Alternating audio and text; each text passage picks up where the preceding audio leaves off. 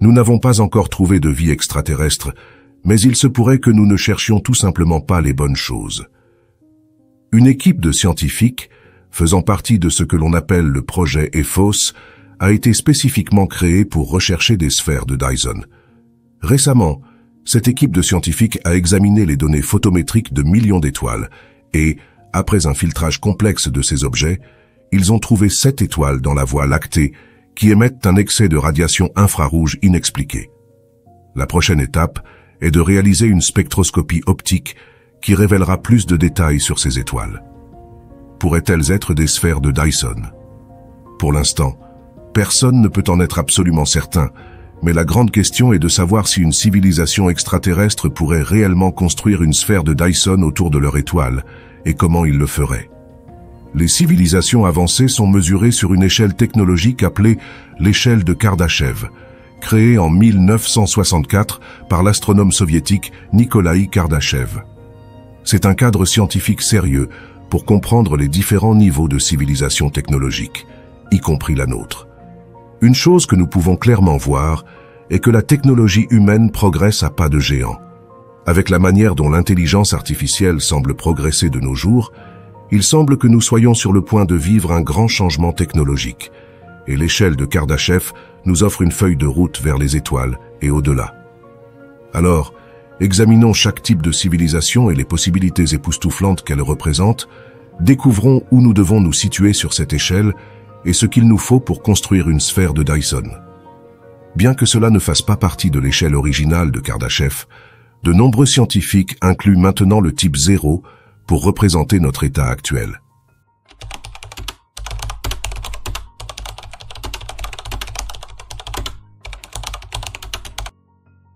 Nous sommes une civilisation encore liée à notre planète d'origine, dépendante de ressources limitées, et seulement au début de l'exploitation du véritable potentiel de notre monde. Nous ne sommes pas vraiment si avancés quand on regarde nos activités actuelles.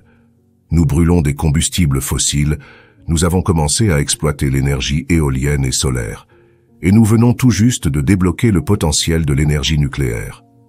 Pourtant, nous restons vulnérables aux catastrophes planétaires, au changement climatique et à l'épuisement de nos ressources naturelles. Notre portée s'étend uniquement à notre plus proche voisin céleste, la Lune, bien que nous ayons envoyé des engins spatiaux robotiques vers d'autres planètes. Quand on regarde tout cela, cela ne semble vraiment pas être grand-chose, mais ne vous y trompez pas, nous sommes une civilisation au bord de la grandeur. Notre croissance technologique rapide laisse entrevoir l'immense potentiel dormant au sein de notre espèce. Actuellement, des scientifiques travaillent sur des réacteurs à fusion qui pourraient révolutionner notre production d'énergie, tandis que des visionnaires rêvent de choses cosmiques inimaginables telles que des ascenseurs spatiaux et des sphères de Dyson. Le saut du type 0 au type 1 est peut-être le plus crucial dans notre évolution. C'est une transition pleine de défis, nécessitant que nous surmontions nos instincts tribaux, que nous nous unissions en tant qu'espèce, et que nous apprenions à gérer notre planète comme un système unique et durable.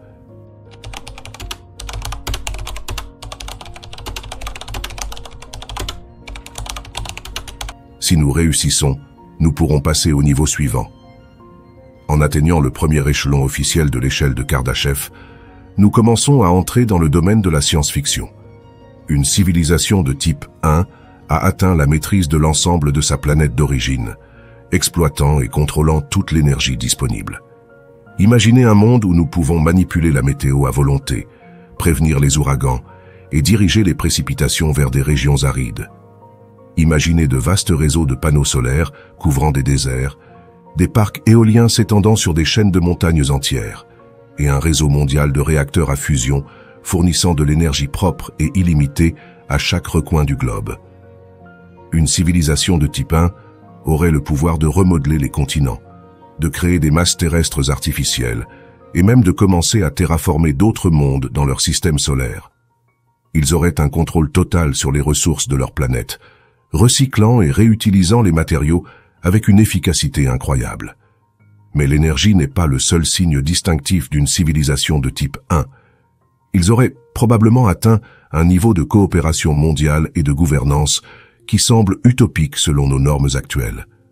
Les guerres pour les ressources seraient un souvenir du passé, remplacés par des efforts collaboratifs pour repousser les frontières de la science et de l'exploration. La technologie d'une civilisation de type 1 serait époustouflante. L'intelligence artificielle serait intégrée de manière fluide dans la vie quotidienne. La nanotechnologie révolutionnerait la fabrication et la médecine, et les premières étapes de la véritable colonisation spatiale seraient en cours. Pourtant, malgré toutes ces avancées étonnantes, une civilisation de type 1 est encore liée à son système solaire. Les vastes distances entre les étoiles restent un obstacle, mais pas pour longtemps.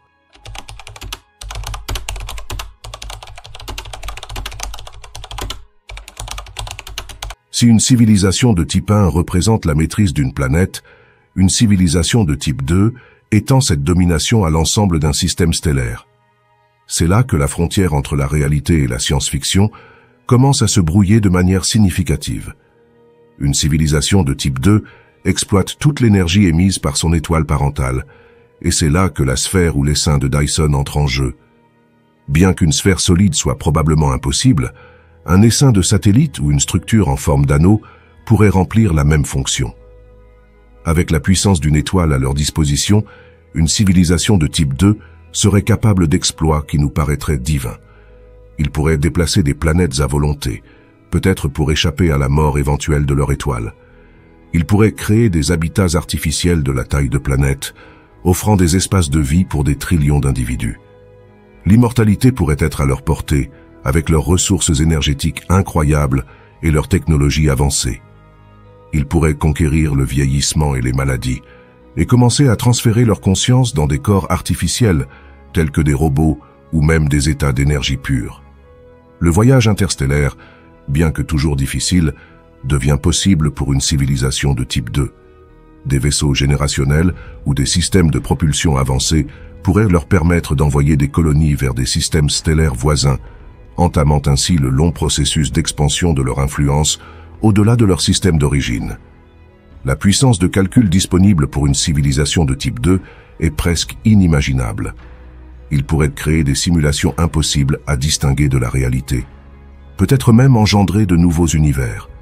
La frontière entre le physique et le virtuel s'effacerait, ouvrant de nouveaux royaumes d'existence et d'expérience. Pourtant, même à ce niveau d'avancement, une civilisation de type 2 serait en grande partie confinée à son voisinage stellaire local. Les vastes distances entre les galaxies poseraient encore un défi significatif, mais pour une espèce capable d'exploiter la puissance d'une étoile, aucun défi n'est trop difficile à surmonter. Nous entrons maintenant véritablement dans le domaine du cosmique.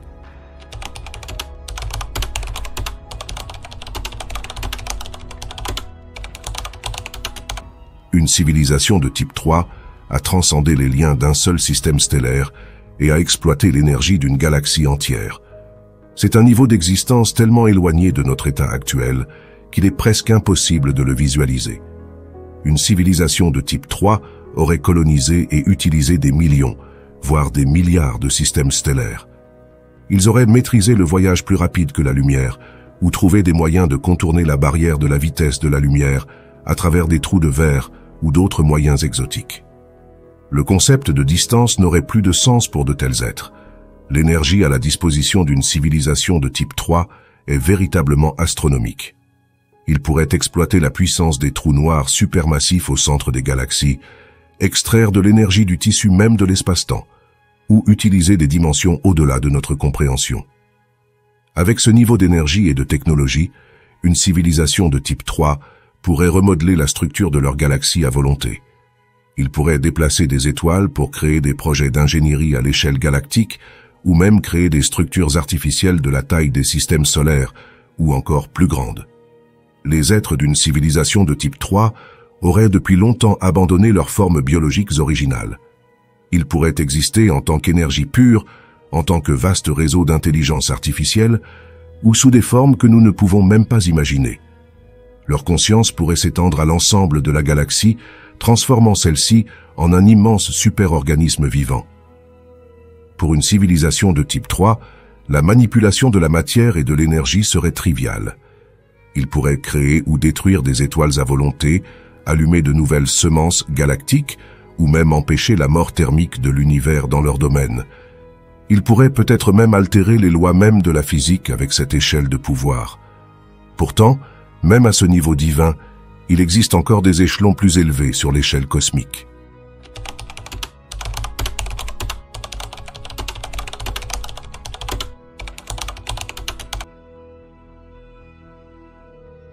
L'échelle de Kardashev originale s'arrête au type 3, mais les théoriciens ont proposé des niveaux supplémentaires qui repoussent l'imagination à ses limites. Les civilisations de type 4 étendraient leur influence au-delà d'une seule galaxie, peut-être en commandant des amas galactiques entiers ou même une portion significative de l'univers observable. À cette échelle, la manipulation de l'énergie noire et de la matière noire serait monnaie courante. Une civilisation de type 4 pourrait être capable de créer de nouveaux univers, soit en induisant des événements d'inflation locale, soit en modifiant la réalité à son niveau le plus fondamental. Ils pourraient être les jardiniers cosmiques, semant de nouvelles vies à travers le cosmos, ou guidant les civilisations plus jeunes vers les niveaux supérieurs de l'échelle de Kardashev. Certains ont même proposé une civilisation de type 5, une qui aurait la maîtrise de tous les univers possibles et des dimensions. Une telle civilisation serait, à toute fin utile, omnipotente et omnisciente, indistinguable de ce que nous pourrions considérer comme des dieux. Alors que nous nous tenons ici sur Terre, une jeune civilisation de type zéro prenant ses premiers pas hésitants dans l'espace, les niveaux supérieurs de l'échelle de Kardashev peuvent sembler être rien de plus qu'une fantaisie. Pourtant, il est bon de se rappeler qu'il y a à peine plus d'un siècle, l'idée que les humains marchent sur la Lune était considérée comme de la pure science-fiction. Sur l'échelle de Kardashev, une civilisation capable de construire une sphère de Dyson serait d'un statut de type 2. Une civilisation de type 2 pourrait exploiter l'intégralité de l'énergie émise par son étoile. Bien qu'une structure Dyson partielle, telle qu'un essaim de satellite, puisse être réalisable pour une civilisation de type un avancé, une sphère de Dyson complète nécessiterait probablement des capacités bien au-delà de notre niveau actuel. Pour apprécier l'ampleur d'une sphère de Dyson, considérons la taille de notre Soleil. Le diamètre du Soleil est d'environ 1,39 million de kilomètres. Vous pourriez y placer 1,3 million de terres à l'intérieur. Une sphère de Dyson autour de notre Soleil devrait avoir un rayon d'au moins une unité astronomique, ou UA, la distance de la Terre au Soleil, qui est d'environ 150 millions de kilomètres. Cela créerait une surface interne d'environ 108 quadrillions de kilomètres carrés, soit environ 550 millions de fois la surface de la Terre. La construction d'une sphère de Dyson serait un exploit d'ingénierie de proportions cosmiques. Cependant, voici comment nous pourrions commencer à la construire. La première chose à accomplir pour construire cette mégastructure serait de rassembler suffisamment de matériaux et de ressources. Notre planète à elle seule ne posséderait pas les ressources nécessaires pour construire une telle structure, les matériaux devraient provenir de plusieurs de nos planètes voisines, ou même en récoltant des astéroïdes et des comètes dans notre système solaire. La planète Mercure pourrait fournir une quantité significative de matériel. La meilleure idée pour commencer serait l'essaim de Dyson, utilisant des robots autoréplicants. Utiliser des robots solaires autoréplicants est l'une des méthodes les plus plausibles proposées pour construire une sphère de Dyson.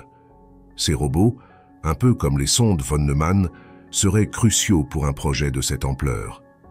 Inutile de dire que l'intelligence artificielle jouerait un grand rôle dans ces robots autoréplicants. Les robots commenceraient par construire des collecteurs solaires et des transmetteurs d'énergie. À mesure que plus d'énergie est captée, elle serait utilisée pour alimenter davantage de constructions. L'essaim de collecteurs s'agrandirait progressivement, englobant de plus en plus le Soleil. Le temps nécessaire pour construire une sphère de Dyson en commençant par un essaim est difficile à estimer car il dépend de facteurs bien au-delà de nos capacités technologiques actuelles. Cependant, nous pouvons faire des suppositions éclairées. Avec la technologie actuelle, cela pourrait prendre des millions d'années. Cependant, avec des robots autoréplicants très avancés, le processus pourrait potentiellement être achevé en quelques centaines à quelques milliers d'années. Le taux de construction suivrait probablement une courbe exponentielle, commençant lentement mais s'accélérant rapidement à mesure que plus d'énergie solaire est captée et que plus de robots sont produits. Les robots créeraient d'autres robots, et ces robots construiraient plus de collecteurs solaires, et ainsi de suite. Finalement, la collection de collecteurs solaires commencerait à se connecter physiquement les uns aux autres et à devenir une sphère de Dyson complète. La stabilité gravitationnelle deviendrait alors le premier grand problème. Maintenir la structure en place autour du Soleil nécessiterait une ingénierie incroyablement avancée. Le second problème à résoudre serait la dissipation de la chaleur. Toute cette énergie captée par le Soleil serait difficile à contrôler au début. Gérer l'énergie captée sans faire fondre la structure serait crucial, et il faudrait développer des matériaux bien plus résistants et légers que tout ce que nous connaissons actuellement. Mais ces défis ne seraient pas les seuls. La construction elle-même nécessiterait des niveaux de précision bien au-delà de nos capacités actuelles, mais cela est quelque chose qu'un architecte cosmique de type 3 serait sûrement capable de surmonter. Pensez-vous que l'humanité pourrait un jour réaliser cet exploit incroyable? Faites-le nous savoir dans les commentaires. Bien que nous ayons trouvé quelques étoiles qui semblent correspondre aux sphères de Dyson, il est encore trop tôt pour supposer que des mégastructures sont la cause du comportement étrange de ces étoiles. Des observations supplémentaires sont nécessaires. Cela pourrait être de la poussière spatiale, des roches ou autre chose qui cause ce comportement étrange. Mais pour l'instant, nous ne savons tout simplement pas. Jusqu'à ce que davantage de recherches sur les données soient effectuées, qui sait ce que nous pourrions découvrir? Les chercheurs ont trouvé beaucoup d'objets étranges qui défient ce que nous savons, et exactement zéro extraterrestre. Nous devrions nous attendre à ce que ce modèle de découverte continue jusqu'à ce qu'un jour, espérons-le, cela ne soit plus le cas. Pour les humains, au moins 100 000 ans sont nécessaires pour devenir aussi avancés, et cela pourrait même prendre un million d'années pour devenir une civilisation de type 3 si nous survivons assez longtemps. Mais de telles civilisations existent-elles? Et si oui, une activité technologique aussi intense serait facilement observable dans l'espace. Selon la NASA, nous avons trouvé environ 4000 planètes en dehors de notre système solaire au cours des deux dernières décennies, et dans la Voie lactée seulement, il devrait y avoir des billions d'étoiles accompagnées de planètes. Alors pourquoi n'avons-nous pas encore trouvé de signes c'est ce qu'on appelle le paradoxe de Fermi, et il stipule que notre univers est trop ancien et trop vaste pour qu'il n'y ait même pas une seule autre vie, à l'exception de celle que nous avons sur Terre. Mais au fil des décennies, nous n'avons rien trouvé de tel. Mais nous n'avons peut-être pas cherché assez fort. La recherche continue de l'intelligence extraterrestre est limitée à la capture de plusieurs fréquences d'émissions radio et TV. Le problème est que de tels signaux ne pourraient être émis que par une civilisation de type zéro. Et comme ils interfèrent également avec les charges statiques dans l'espace, une bonne partie de ce signal est perdue. Une méthode beaucoup plus efficace consisterait à diviser les signaux en toutes les fréquences pour préserver la majeure partie de ce signal. Malheureusement, une civilisation hypothétique de type zéro utilisant une seule fréquence ne serait pas en mesure de lire ce message complètement, entendant plutôt des non-sens. Ainsi, même si la Voie lactée est remplie d'une variété de messages provenant de civilisations de type 2 ou 3, les radiotélescopes de type 0 humain ne peuvent pas les entendre correctement. Un autre chercheur à l'Observatoire astronomique national de Chine a proposé une nouvelle théorie sur l'endroit où ces civilisations pourraient se cacher. Un professeur et son équipe ont scanné une portion significative du ciel et détecté 21 galaxies, ils cherchaient des signaux radio inhabituels pour détecter les émissions d'extraterrestres et les deux galaxies étranges qu'ils ont découvertes avaient une émission infrarouge renforcée qui ne pouvait être expliquée par des phénomènes naturels. Les astronomes espèrent que cela pourrait indiquer un essaim de sphères de Dyson et des galaxies entières capturées par une civilisation intelligente ou plusieurs civilisations. Mais pour prouver cette idée, ils doivent savoir avec certitude ce qui cause ces émissions infrarouges. Il existe également une autre solution au paradoxe de Fermi. Peut-être que ces civilisations ont décidé de rester inaperçues. Notre univers est vaste, et le fait que nous n'ayons pas encore réussi à en trouver une ne signifie pas qu'elles ne sont pas là. Lorsqu'ils cherchent des signes de civilisation technologiquement avancée, les astronomes basent souvent leurs observations sur différents types d'émissions infrarouges et de déchets. Mais que se passerait-il si une super-intelligence avait non seulement développé des technologies inimaginables, mais avait également trouvé un moyen de dissimuler sa présence?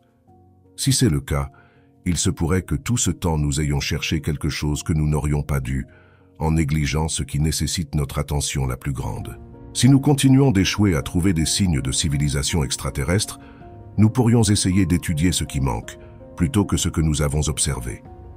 Le scénario le plus probable est que, si une civilisation de type 3 existe quelque part, elle pourrait rassembler toute l'énergie disponible dans une galaxie et épuiser toutes ses ressources, ne laissant rien derrière elle.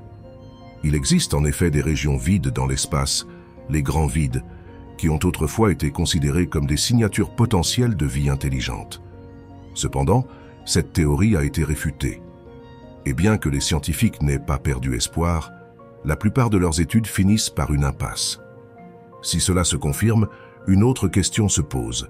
Et si nous étions simplement nés au mauvais moment? Selon une simulation informatique, la vie intelligente pourrait avoir été plus abondante il y a 4 milliards d'années qu'à tout autre moment.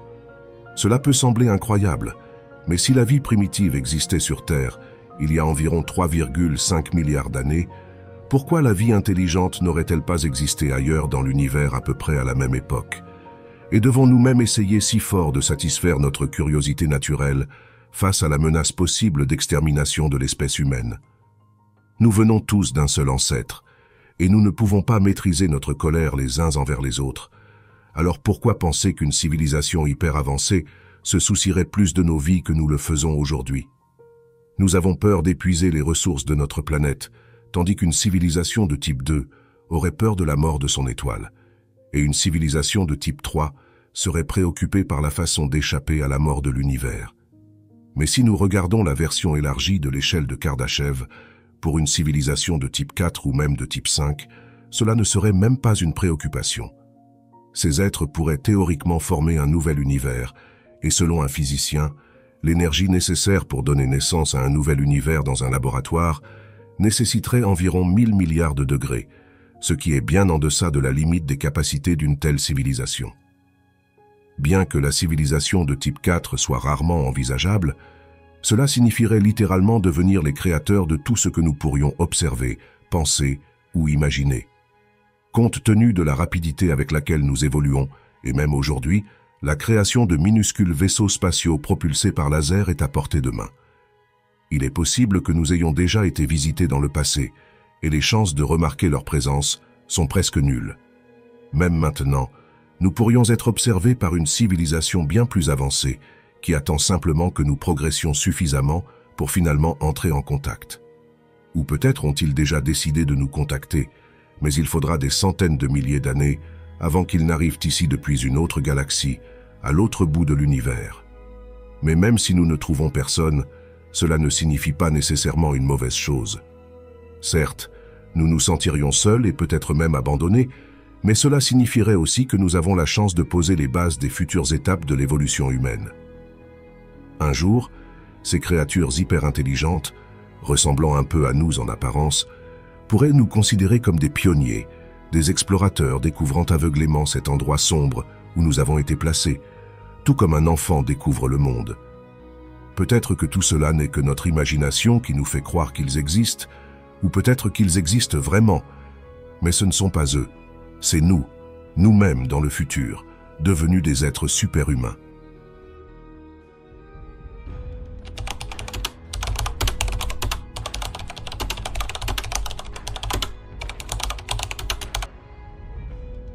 Si les multivers deviennent leur nouvelle réalité, une civilisation de type 5 conquérera ces mondes, exploitant une source d'énergie presque inépuisable tout au long de leur voyage. Les trous blancs hypothétiques, considérés comme le côté opposé des trous noirs, pourraient être la clé pour y parvenir. Pendant ce temps, la science se penchera activement sur l'étude des dimensions supérieures, déverrouillant des secrets et des possibilités qui autrefois étaient considérées comme de la fiction.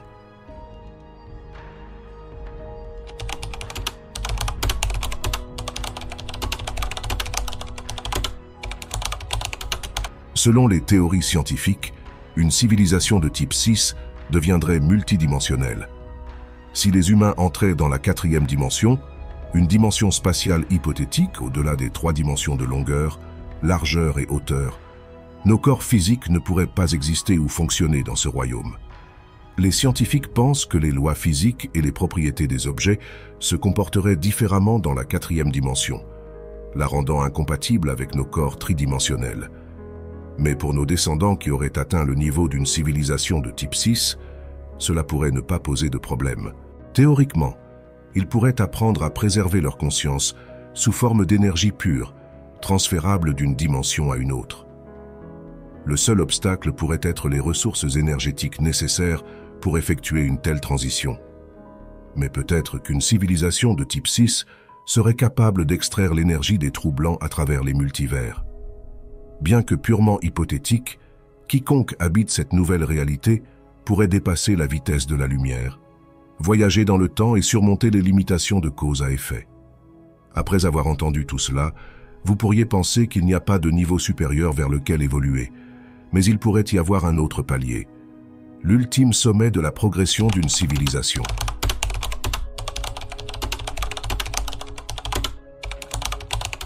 Une civilisation de type 7 consisterait en les créateurs de toutes les lois de la nature, de la matière, de l'énergie, de l'espace, du temps et des dimensions. Nous ne pouvons pas imaginer à quoi ressemblerait la vie dans une civilisation de type 7, ou même si une telle civilisation pourrait exister dans cet univers concevable. Des lois physiques complètement différentes régneraient. Même si nous pouvions y accéder, nous ne les comprendrions jamais.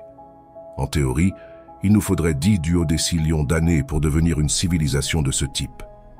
Une autre idée est que nous ne parviendrons jamais au septième niveau, car il ne s'agirait pas d'une communauté d'êtres, mais plutôt de l'existence elle-même. Nous ne remarquerions même pas si une telle civilisation existait en premier lieu. Contempler la possibilité d'une intelligence extraterrestre est un sujet captivant. Cependant, la recherche de preuves de telles civilisations avancées est un véritable défi. Chercher des civilisations aux niveaux inférieurs de l'échelle de Kardashev serait une poursuite plus réaliste. La théorie des différents types de civilisations offre des indices pour cette recherche, en particulier sur les exoplanètes avec des conditions propices à la vie. Selon la NASA, il y a potentiellement 300 millions de mondes de ce type dans notre galaxie. Bien que nous n'ayons étudié qu'environ 55 d'entre eux jusqu'à présent, des télescopes avancés comme le télescope spatial James Webb ne recherchent pas seulement des signes de vie biologique, mais aussi des signes d'activité technologique. Les astronomes pensent qu'avec l'équipement moderne dont nous disposons aujourd'hui, ils auraient déjà détecté des signes d'une civilisation de type 1 si elle existait dans les régions de l'espace que nous avons déjà étudiées. Dans ce cas, les extraterrestres voyageraient à travers l'espace à des vitesses qui rendraient leurs vaisseaux visibles. Une civilisation de type 2 est également peu susceptible de rester complètement invisible pour nous.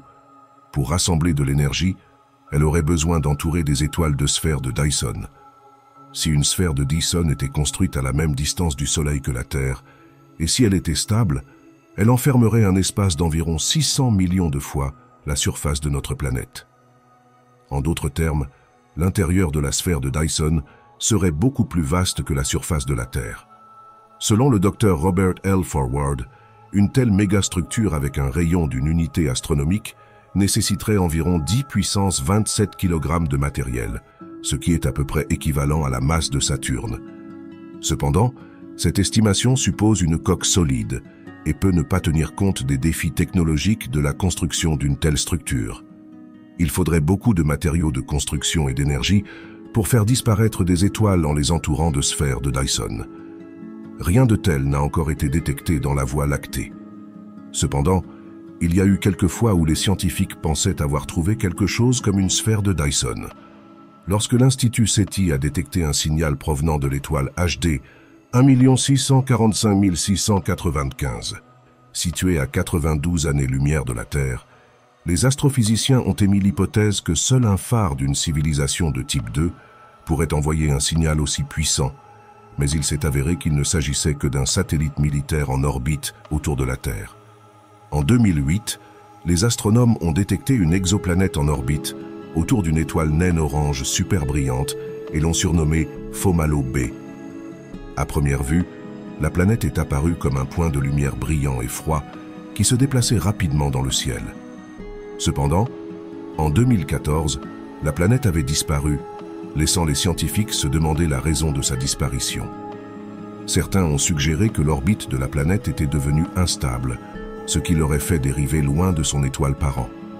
D'autres ont proposé que Fomalo B avait migré pour orbiter autour d'une autre étoile, plus grande et plus brillante, ailleurs dans la galaxie.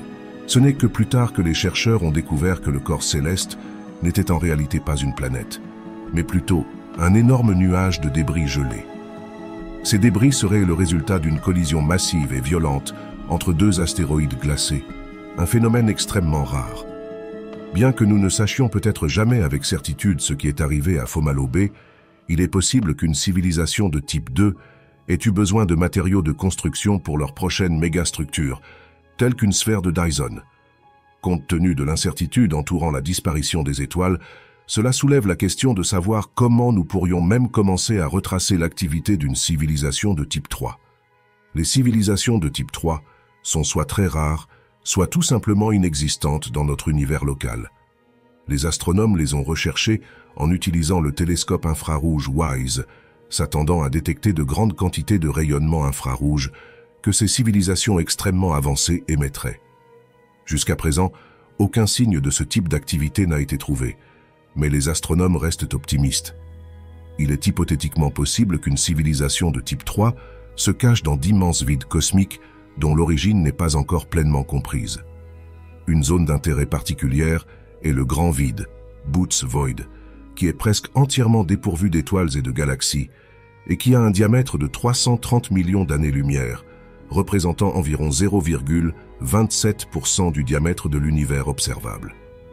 Selon certaines spéculations scientifiques, cet espace vide pourrait être attribué à diverses activités d'une civilisation avancée de type 3. Il est possible que certaines civilisations extraterrestres aient caché des galaxies entières, une par une, en couvrant leurs étoiles avec des sphères de Dyson ou en les déplaçant vers un emplacement souhaité. Les scientifiques espèrent que les avancées technologiques terrestres leur permettront de tester cette hypothèse dans un avenir proche. Pensez-vous que nous découvrirons un jour une vie intelligente quelque part dans l'univers? Et si nous en trouvons, devrions-nous essayer d'entrer en contact avec elle? Donnez votre avis dans les commentaires et restez à l'écoute ici pour en savoir plus sur les découvertes cosmiques les plus incroyables. Merci d'avoir regardé.